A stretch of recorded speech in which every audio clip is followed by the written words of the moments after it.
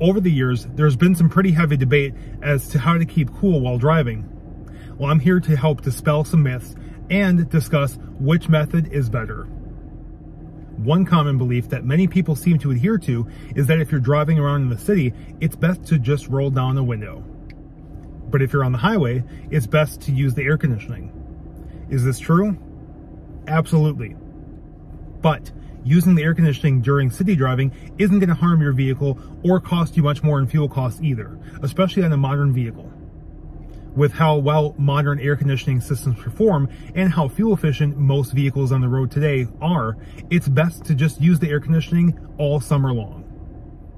You see, when you roll windows down in your vehicle while driving, it creates drag, and that's what reduces your fuel economy substantially, even more than air conditioning ever would. And while it is true that when the AC compressor in your vehicle kicks on, it creates a slight drag on the engine, the difference in fuel economy it actually makes is ultimately negligible. In fact, unless there's a practical reason for rolling the windows down or putting the convertible top down, there really is no advantage to having the windows down versus using the air conditioning in your vehicle.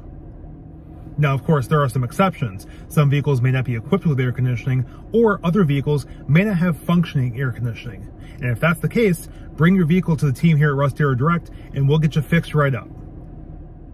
Air conditioning diagnostics starts at only $199.95, and it'll help us determine what exactly is causing your AC system to not function properly so we can get you back up and running and help you enjoy the rest of your summer and many summers to come. If you have any additional questions about the AC diagnostics or any other service that we offer here at Rust Direct, you can contact our service team at 920-731-1300 or ask them the next time you're in.